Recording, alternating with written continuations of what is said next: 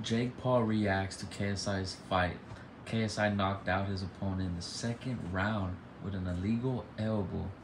Jake Paul reacts. What do you guys think? Comment down below.